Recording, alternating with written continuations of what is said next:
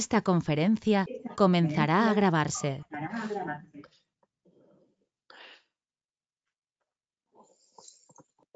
Vale, bueno, eh, Buenas tardes, a Racha León. Eh, yo me llamo Carmele, trabajo en Adembi. Os doy la bienvenida a una nueva sesión online que organiza Adembi, la Asociación de Esclerosis Múltiple de Vizcaya, y con, un nuevo tema de los cuales nos vais proponiendo y que preocupan a, las personas con esclerosis múltiple. En esta ocasión eh, va a ser eh, mi compañera Erika Ochoa, que es coordinadora de rehabilitación de Adembi, a quienes creo que la mayoría de vosotros conocéis, que nos va a hablar sobre, sobre envejecimiento. Erika además tiene desde hace muy poco un máster eh, que, bueno, que referido a este tema, así que estamos muy expectantes a todo lo que nos pueda contar y sobre todo luego poner en práctica a todos los que, todos los que venís a la asociación. Em, Erika va a hacer eh, su, presentación, durará unos 20 minutitos, media hora o así. Hay un chat habilitado a la izquierda de la herramienta donde podéis poner todas las preguntas que nosotras iremos recogiendo y al terminar la ponencia de Erika se las iremos formulando. Eh, así que nada más. Eh, Erika, tienes la palabra y muy expectantes de todo lo que nos vayas a contar. Hola, eh, buenas tardes a todos. Bueno, casi todos nos conocemos. Como bien ha dicho Carmele, soy Erika y sí, acabo de terminar un máster en envejecimiento y emprendimiento tecnológico en la Silver Economy en personas mayores de 55 años pero no me voy a centrar mucho en la problemática que nos vamos a encontrar en menos de 10 años en este país y en el mundo con eh, el mundo silver y los paradigmas eh, nuevos que nos vamos a encontrar, sino más que nada en qué podemos hacer para prevenir y qué podemos hacer para llegar a este envejecimiento de la manera más saludable posible. Y os voy a dar unos tips generales para eh, llegar lo más activos posibles a esta etapa de la vejez que activo no significa tener que trabajar, sino que tiene otros muchos componentes término actividad. Vamos a ver. Según la OMS, el envejecimiento activo se define como el proceso por el que se optimizan las oportunidades, siempre hablando de bienestar físico, social y cognitivo. Nunca tenemos que pensar solamente que estamos hablando de algo físico, con el objetivo de ampliar la esperanza de vida saludable, la productividad y la calidad de vida. Y teniendo en cuenta siempre que la vejez no es una enfermedad, que es una etapa de vida. Determinantes de envejecimiento activo hay varios. La cultura, el género, el ambiente social, determinantes económicos, evidentemente, los servicios de salud y sociales de cada comunidad, factores personales, eh, el ambiente físico, la genética, pero solamente vamos a incidir en aquellos que podemos cambiar, que en este caso son los comportamientos, que podemos hacer para poder llegar mejor a la vejez. Los demás no son modificables por nosotros, con lo cual vamos a dejarlos eh, de lado. El término activo hace referencia a una participación continua en dimensiones, como he dicho antes, sociales, económicas, culturales y cívicas, y no solamente a estar físicamente activo. Su objetivo radica en ampliar la esperanza de vida, como he comentado antes, y la calidad de vida mientras se envejece, incluyendo evidentemente a personas frágiles que tengan alguna diversidad funcional y que necesiten asistencia. Las personas mayores tienen que enfrentarse y adaptarse a muchos cambios cuando llegan a esta etapa, tanto en el mundo físico, laboral, tiempo libre, sentido de vida, cambia nuestro cuerpo, eh, nos jubilamos, dejamos de trabajar y hay que adaptarse a todos estos cambios. Esto no significa que no tengamos un sentido de vida. Tenemos un sentido de vida, tenemos proyectos que podemos realizar, hay que adaptarse a esta edad y hay que desmitificar el hecho de que la vejez significa dependencia. La vejez no significa dependencia. Si tenemos alguna enfermedad asociada, eh, Tampoco, puede que sí o puede que no, pero en sí la palabra eh, vejez no hay que desmitificarla, no significa que tengamos una dependencia. Hay muchos mitos. El mito de que la vejez es improductiva. No, no es improductiva. Dejamos de trabajar, pero podemos hacer muchísimas otras cosas que sean productivas. Que tenemos un descompromiso. Bueno, digo tenemos, yo estoy muy cerquita, ¿eh? que se considera que a partir de los 55 años ya entramos en esta etapa de vejez que sea con senilidad, que tampoco. Eh, el mito del sedentarismo, que si las personas mayores son sedentarias, no. Y el mito de la vejez desgraciada y que en la vejez uno se encuentra solo, tampoco. Y si añadimos habitualmente a esta vejez una enfermedad neurodegenerativa, eh, los mitos eh, se multiplican por mil y nos encontraríamos con un montón de mitos más de los que se hablan con enfermedad neurodegenerativa asociada a la vejez. Tenemos que tener un cambio cultural. actualmente el modelo sanitario del País Vasco es un modelo muy paternalista. Tenemos que pasar a un modelo muchísimo más activo en el que el usuario esté muchísimo más empoderado y se haga cargo de su salud, con una autogestión y evidentemente con ayuda de profesionales y de un equipo multidisciplinar que le ayude, que le informe y que le asesore qué es lo que tiene que hacer para eh, ser más activo. Un cambio hacia la prevención. Estamos acostumbrados tanto a ir al médico como a ir al fisioterapeuta como a cualquier profesional sanitario solo cuando hay una enfermedad o cuando hay algún síntoma.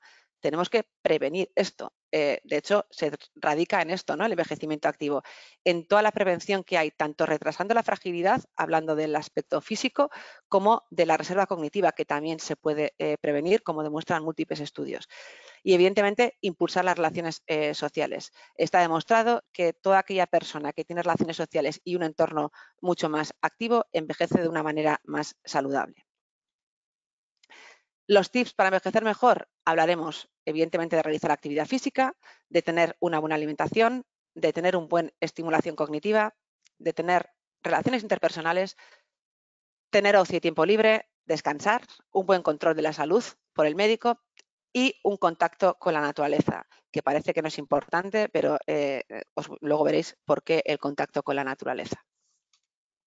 Hablando de actividad, evidentemente hacer ejercicio diario, Ejercicio no es deporte. Hacer ejercicio diario acorde a la salud que tenga cada uno y a las características personales que tenga eh, cada uno. Es indispensable hacer paseos, andar en bicicleta, dependiendo, evidentemente, como todo, tanto en la vejez como en la juventud, como en todas las etapas de la vida, todo tiene que ser personalizado. Eh, no es el mismo deporte ni la misma actividad física para todos. Tienes que tener el asesoramiento de un profesional sanitario que te diga cuál es el ejercicio adecuado para ti y cuáles eh, los beneficios que puedes tener realizando eh, los, los ejercicios, es que escucho una voz en off, los ejercicios eh, que tengas que hacer para tanto el al aire libre como en un gimnasio, como si tiene que ser rehabilitación, siendo rehabilitación. Vuelvo a repetir que actividad no significa eh, deporte, sino actividad es rehabilitación, actividad es paseos, actividad es mover un brazo, actividad física es todo acorde a lo que cada uno pueda llegar a realizar.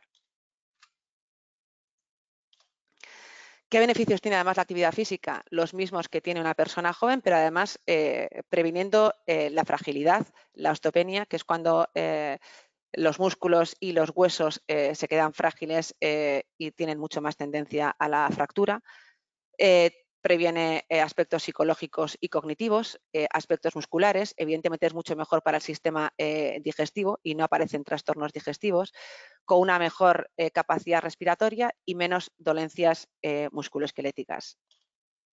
Aquí están los beneficios de las actividades físicas que también incluyen en la parte cognitiva. Como he dicho antes, eh, mejora los problemas respiratorios y evita eh, problemas de asma y problemas de bronquitis, reduce el riesgo cardíaco disminuyendo la presión arterial, corrige los niveles de colesterol, que suelen ser bastante comunes en las personas con más de 55 años que no lleven una, encima una alimentación adecuada mejora la calcificación de los huesos, previniendo la osteoporosis, problema eh, muy importante sobre todo en mujeres eh, mayores de 55 años, con los problemas que da eh, el no tener y entrar en una etapa de, de no tener la regla y aparecen múltiples problemas, con lo cual hay que prevenir también todo esto con actividad física mantener y mejorar la flexibilidad, produce hormonas que nos causan bienestar, bienestar emocional y nos encontramos muchísimo mejor. Puede que en ese momento nos encontremos más cansadas, pero a posteriori nos encontramos muchísimo mejor. Promueve la inmunidad, importante eh, en este caso con personas con esclerosis múltiple. Reduce el sobrepeso, mejora la digestión y evidentemente está demostrado que encima disminuye la incidencia que puede haber en un futuro eh, de accidentes eh, cerebrovasculares. Esto es una etapa que lo dice eh, la OMS, ¿vale? Es una tabla que la OMS dice que los jóvenes entre 5 y 17 años tienen que realizar 60 minutos de ejercicios eh, al día en una actividad física vigorosa. Los adultos entre 18 y 64 años deberían de realizar 75 minutos por semana en una actividad física intensidad vigorosa con un RP78, que ahora os explico lo que es el RP. Y los adultos mayores de 65 años, 150 minutos por semana con una actividad física intensidad moderada, con un RP de 4 a 6. Evidentemente hay que hacer actividades de fortalecimiento muscular al menos dos o tres veces por semana y actividades de equilibrio dos o tres veces por semana. Como siempre, como he dicho antes, todo esto eh, es general. Son pautas que se dan a nivel general por la OMS, pero evidentemente cada persona eh, habría que ver si es capaz de hacer 150, 75 y un profesional sanitario tendría que hacer un asesoramiento mucho más eh, personalizado. ¿Qué es la RPE? la escala subjetiva que tiene uno del esfuerzo que está haciendo. Yo te puedo mandar que hagas 15 repeticiones de una actividad eh, física y tú me tienes que decir si para ti ha sido un esfuerzo suave, moderado, difícil o muy duro. Y en base a ese esfuerzo o de esa eh, escala subjetiva que tú tengas de ese esfuerzo, iremos pautando los ejercicios que tienes que hacer cada día, ya sean de fuerza o ya sean de equilibrio. De todas maneras, eh, con el uso de las nuevas tecnologías y que todo el mundo ya está, creo que ya se ha roto bastante la brecha tecnológica y todo el mundo tiene un móvil o un smartphone y tiene aplicaciones, hay miles de aplicaciones eh, de ruedas de ejercicios para diferentes edades en las que cada día te va dando un rueda de ejercicio diferente para estirar, para eh, caminar, para flexibilidad, que son ejercicios, vuelvo a repetir, de manera generalizada. Después habría que ver si cada uno tiene alguna cosa aparte si habría que hacer algún asesoramiento individualizado. La alimentación, lo mismo, igual que eh, la actividad física, tiene que ser sana y equilibrada. Ayudará a que lleguemos a la vejez de una eh, manera mucho más eh, sana. Evidentemente, verduras, hortalizas, frutas que aporten cantidad de fibra para que el sistema digestivo también funcione mejor y más si tenemos una vida un poquito menos sedentaria porque no podemos realizar toda la actividad física que queramos. Y evidentemente hay un servicio de nutrición para personas mayores eh, en los servicios básicos de sanidad en las que tendremos que eh, hablar con ellos para que nos pongan una dieta eh, adaptada a nuestras necesidades.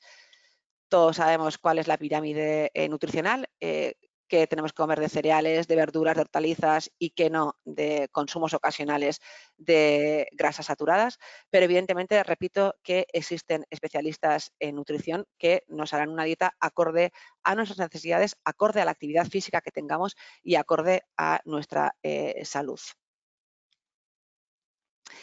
En cuanto a la estimulación cognitiva, eh, tenemos que tener la mente activa. Está claro que se puede preservar el deterioro cognitivo y que si hacemos eh, ejercicio probablemente retrasemos este eh, deterioro cognitivo.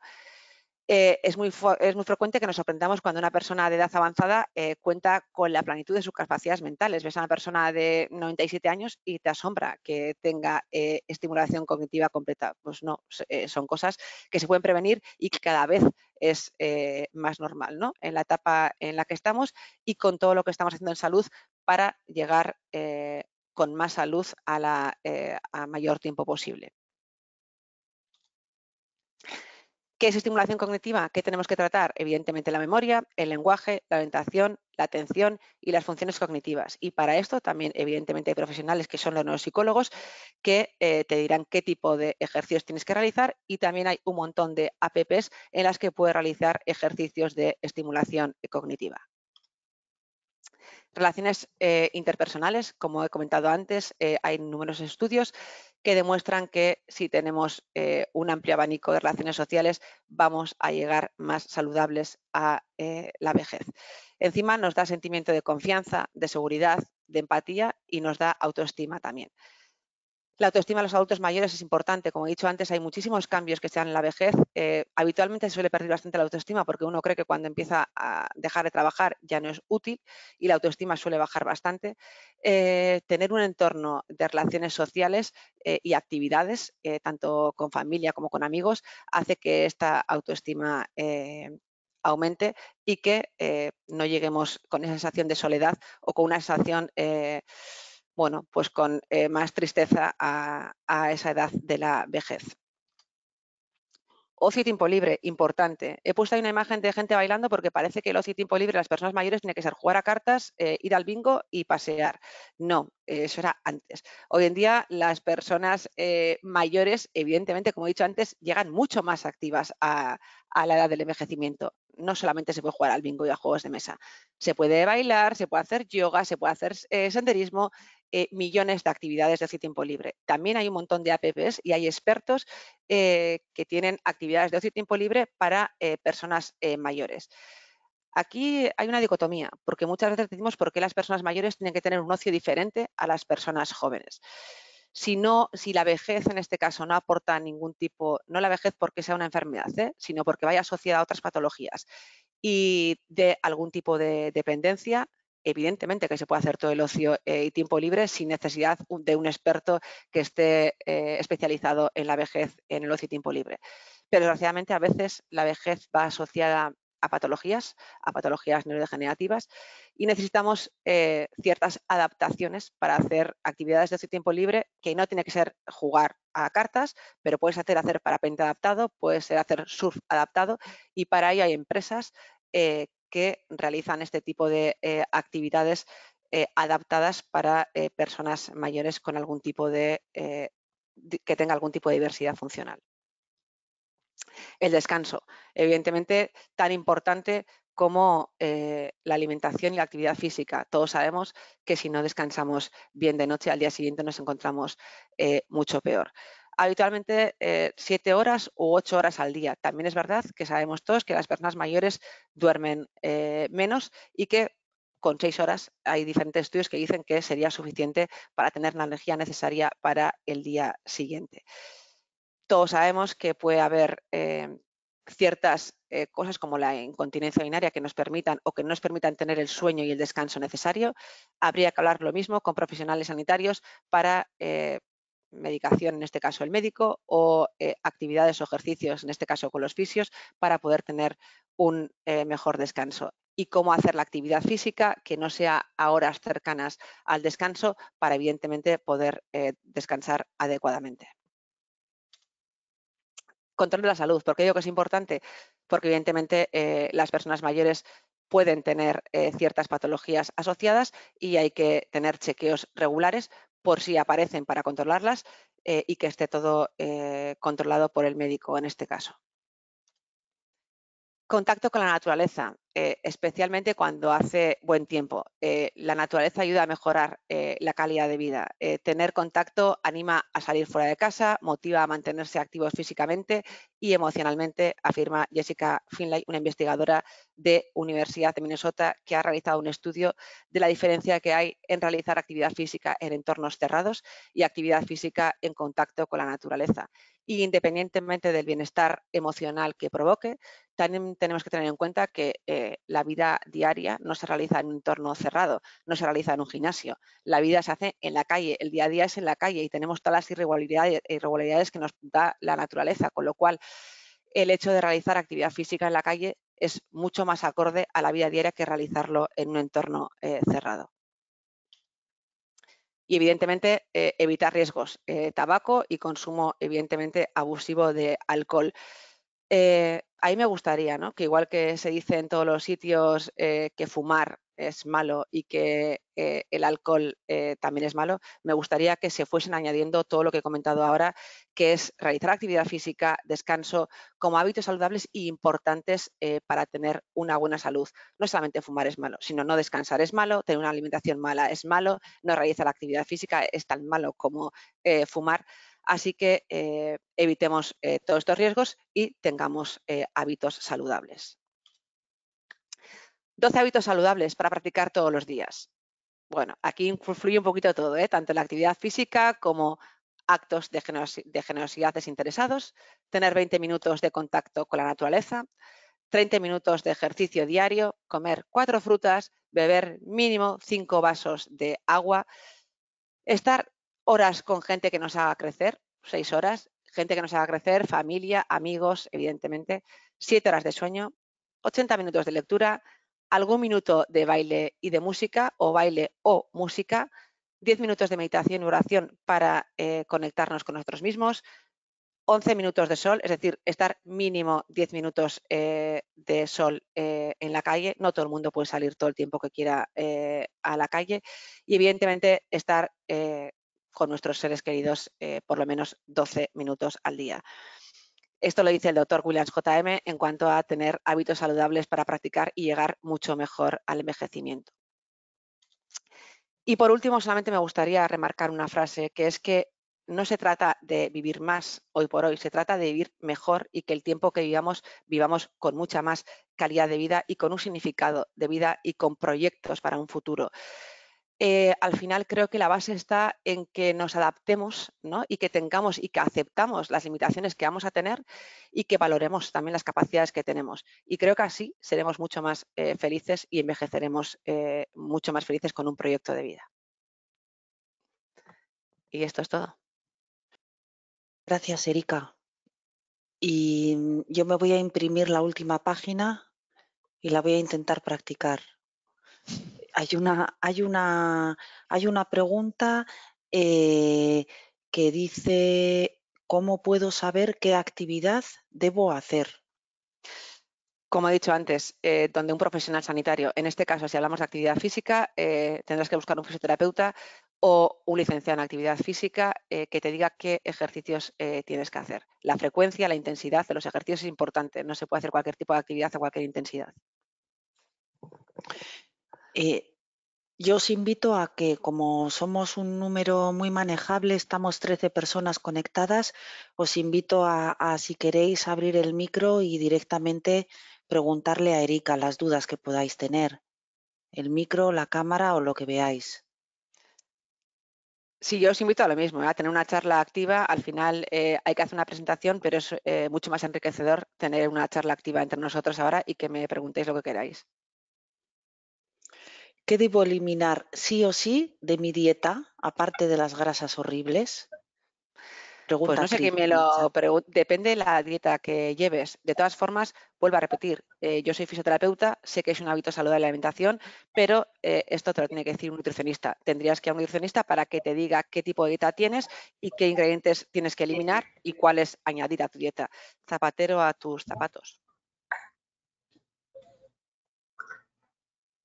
Los consejos últimos de la última pantalla quedan muy bonitos pero no, nos da tiempo para hacer todo eso al cabo del día. Podemos hacer una parte, pero todo a mí no me da tiempo. a sé si el resto os da. Mari Carmen, te da tiempo, suma los minutos y te da tiempo. El tiempo es una excusa que ponemos siempre para no hacer. Si te das cuenta, el tiempo es la Erika, primera pon por favor la, la, diapo de nuevo. ¿Puedes ponerla? La de, la de los últimos consejos, anterior a esta. Voy. Esa, sí. Si te das cuenta, el tiempo es la primera excusa que ponemos todos para no hacer actividad física, para no cuidarnos, para no hacer una dieta. Es la excusa perfecta que tenemos. O sea, Mari Carmen, no te bases en eso porque tienes seguro uno minuto para hacer un acto, 20 minutos de contacto con la naturaleza, que los 30 minutos de ejercicio los puedes hacer en la naturaleza, con lo cual ya no son 30 y 20, 50. O sea, son 30. Yo, yo lo que pasa es que sí que hago, creo que hago de, todo, pero no sé si son esos minutos, jolín. Me ha sonado que muchísimo minuto, así como muy, controlado, uf, 80 minutos de lectura, eso es lo que no hago. Ahí te voy a decir que hay peco. El resto de las cosas ah, las doy por válidas, pero los 80 minutos de lectura... Se me oye, que me veo congelada la imagen. Sí, sí se te oye, Erika. Tienes congelada la imagen, pero se te oye. Vale, Mari Carmen. Al final esto es un doctor, eh, un eh, gerontólogo eh, especialista en envejecimiento que evidentemente hizo un paper en el que hizo un estudio de lo que hay que hacer y más o menos puso unos hábitos saludables para llevar un hábito saludable. Evidentemente, si no te gusta la lectura, igual tienes que ver una película, ¿sabes? Y verse una película al día. Es decir, esto es algo generalizado para que os deis cuenta que tener hábitos saludables no solamente es hacer ejercicio físico ni comer bien, sino que también hay que incluir ocio y minutos para ti, para hacer lo que a ti te gusta, sea leer, ver una película o escuchar música o ir a un concierto, me da igual pero que tienes que hacer cosas que te gusten a ti. Me da igual, sí, o hacer sudokus. Eh, la cuestión es que lo que en general eh, lo que queremos decir es que tienes que tomarte tiempo para ti, para hacer cosas que a ti te gustan, no por los demás, sino por ti. Bueno, pues puedo decir que entro dentro de todo el equipo, ¿eh? Perfecto. Sí, y me parece muy bien. ¿Hay alguna pregunta más por ahí, Carmele, que no estoy leyendo? Vale. ¿Más preguntas hay por ahí? A ver si alguien más se anima. Si os dais cuenta, no hay diferencia entre los hábitos saludables que tiene que tener una persona eh, joven con las que tiene que tener una eh, persona eh, más mayor. Lo único que tenemos que tener en cuenta y nos tenemos que eh, tener en cuenta es que tenemos que prevenir para llegar a esa vejez más sanos. Es decir, que estamos a tiempo todavía para eh, llegar a esa vejez más sanos. Con lo cual, tengamos hábitos saludables, eh, que estamos a tiempo para tenerlos y que después es tarde. Vuelvo a repetir, estamos en una sociedad en la que tratamos siempre cuando aparecen los problemas. Se pueden prevenir los problemas. No todos, pero sí muchos.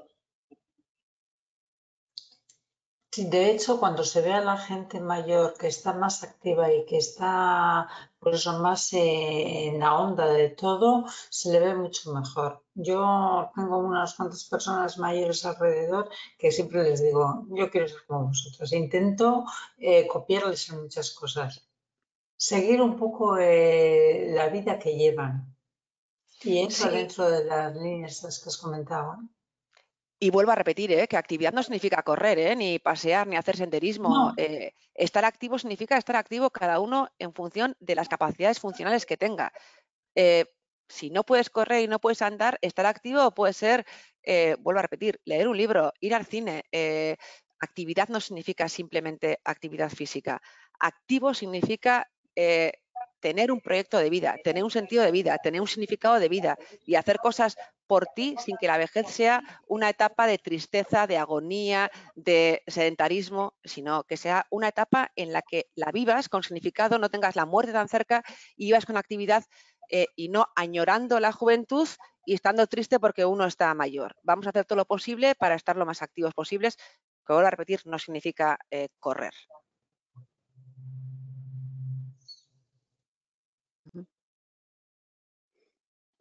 Bueno,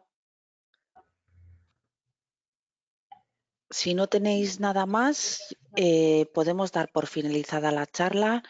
Muchas gracias, Erika. Y, y, nada, que, sepáis que si tenéis algún tema de interés que, que, queráis que desde que hagamos un webinar o que se trate de esta manera, no tenéis más que decírnoslo y nos ponemos en marcha. ¿Eh? Y sí. Para, poder volver a ver esto o, imprimir alguna página de estas, eh, ¿cómo se podría hacer? A partir de mañana lo vas a tener colgado en la web de, de. Hay un apartado que se llama webinars y ahí están todos los webinars que hemos ido haciendo y el último va a ser este. Mañana lo tienes. Oye, pues Igual le echo un vistazo de vez en cuando, a volver a recordar que tengo que. Para recordar... a, ti te lo puedo recordar yo personalmente también, que te veo bastante, pero eh, el término, antes cuando me decías el tiempo y demás que no tienes tiempo, eh, ¿sabes el término este de resiliencia? Eh, adaptarse a las adversidades que vienen y hacer frente y modificar tus hábitos. adaptándote a las capacidades que vengan nuevas y a las limitaciones que tengas. Pensando en eso, piensa en cómo tienes que eh, estar tú más activa y qué es lo que te gusta y qué te gustaría hacer por ti eh, a diario. Y con eso seguro que eres más feliz y que llegas mucho mejor eh, a la vejez. Le daré una vuelta a ver qué es lo que me falta.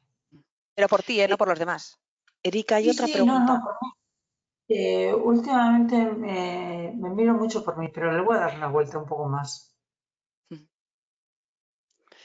Eh, ¿cómo saber hasta dónde con la actividad física y sin pasarse? Lo mismo que con, eh, contestado antes a Cristina, creo que ha preguntado, no sé quién ha sido quien ha preguntado lo de la actividad física. Eh, cada persona es un mundo diferente. No hay una rutina de actividad física generalizada. Eh, os he dicho antes lo que marcaba la OMS, ¿no? La OMS marca que a partir de los 65 eh, años, que se considera la etapa de vejez, se hagan 165 minutos de ejercicio eh, semanal a una intensidad moderada. Es decir, a un esfuerzo que a ti no te suponga mucho, sino que te canses, pero que tu subjetividad sea que lo puedes hacer. Pero evidentemente no hay dos personas iguales y no va a llegar eh, Juanito a los 65 años, igual que llega eh, Carmele. Si Carmele ha tenido una vida activa, eh, lleva una alimentación sana, no tiene ninguna patología, probablemente podrá hacer una intensidad de ejercicio mucho más vigorosa que otra persona que tenga patologías, que tenga otras enfermedades. Quiero decir que esto tiene que ser muy individualizado y tienes que ir a donde un fisioterapeuta, vuelvo a repetir, o un licenciado en actividad física que te diga cómo, cuándo y hasta dónde. Vale, Erika, pero ¿qué tiene que ganar? ¿La cabeza o lo físico? Porque mi cabeza puede decir sigue, pero mi cuerpo no. Eh, es que, vea, eh, el físico tiene que decir para y tu cabeza tiene que aceptar lo que tu cuerpo dice. Que en este caso lo que nos cuesta mucho es aceptar y escuchar a nuestro cuerpo. Eh, y en general, a las personas con esclerosis múltiple nos cuesta mucho escuchar a nuestro cuerpo y queremos hacer siempre más y más y más. Y si hoy puedo hacer menos porque me da igual, por, porque hace mucho más calor y demás, no aceptamos. Eh, tu cabeza tienes que escuchar a tu cuerpo. Tu cuerpo es muy inteligente y te va a decir hasta aquí y hoy hasta aquí. Vale. Vale. Mm, a veces me da la impresión de que si no le pido más, no le pido más, le hago más vago. No. No, no. Otra cosa es, eh, estamos hablando de no tener una vida sedentaria y no hacer más, pero el cuerpo es muy inteligente. Si tú, además tú que tienes las pautas del fisioterapeuta y que sabes perfectamente qué actividades tienes que hacer, eh, voy a hablar en general. De hecho, hay veces que os pasáis de actividad física, eh, de hacer demasiado ejercicio físico, demasiados días a la semana sin periodos de descanso, en la que la musculatura sufre y no hay mejoría. Empezamos a notar un empeoramiento por fatiga muscular y no hacéis caso muchas veces porque pensáis que hacer lunes, martes, miércoles, jueves, viernes, sábado y domingo actividad física es mucho mejor que descansar, porque la cabeza os dice que tenéis que hacer todo eso, pero realmente está demostrando en estudios que toda actividad física requiere de periodos de descanso para que el músculo descanse y para que no exista esa fatiga muscular. Vale, vale. Captada la bronca, vale. No, no. no es una bronca, vea. Sí, sí, sí, y a Mari Carmen otra, sí, sí. Vale, no, que, que, lo entiendo, ¿eh? pero es verdad que... Es que no es bronca, es que os conozco tanto que es que me preguntáis si no puedo quitar lo personal de lo global. es que me preguntáis si os conozco demasiado. Que sí, que sí, y yo lo entiendo, ¿eh? Lo que pasa que es verdad que, que a lo mejor si no, en mi caso, si no hago todos los días lo que considero un poquito más, si es verdad que mi cabeza lo sufre.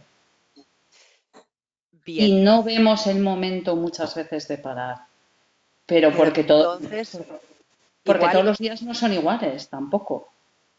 Claro, entonces tendrás que aceptar que si un día hace 40 grados en la calle, en vez de hacer 20 minutos de piscina, igual hagas 10, porque no puedes llegar a los 20 minutos, porque estás más fatigada muscularmente, porque hace mucho calor fuera, o porque hayas tenido un día emocionalmente malo y no estés preparada para hacer actividad física y tu cuerpo responda antes y al de 20 minutos estés cansada. Pero ahí el problema no está en la actividad física, ¿eh? está en la cabeza, con lo cual lo que hay que trabajar no es la actividad física, hay que trabajar los estados emocionales, vea que es completamente diferente. Vale. Vale. Erika, y para tratar los estados emocionales, ¿qué le has dicho ahora a Bea? Pues lo mismo. Eh, ¿Qué tal eh, Lo mismo, voy a hablar en general, eh, intentaré hablar en general. lo mismo, quiero decir, para tratar el estado emocional, dependiendo si solamente es una alteración emocional, ansiedad, no aceptación de ciertas limitaciones, se puede hacer lo que he dicho antes, eh, intentar ocupar el tiempo en hacer eh, una hora cosas que te gustan como la lectura, como el cine y demás. Eh, y si en casos bueno, en los que sea mayor el problema de no aceptar esas limitaciones y haya una alteración emocional mayor, lo mismo, hay psicólogos que ayudan a aceptar esas limitaciones y a cambiar esos estados emocionales. Mensana incorpore sano, eh, actividad física junto eh, con también tener la cabeza con fuerzas y con eh, saber aceptar qué es lo que tenemos que hacer y qué es lo que nos aconsejan, qué es lo mejor para nosotros, evidentemente. Vale. Bueno, voy a, voy a quitar el, voy a detener la grabación, ¿vale?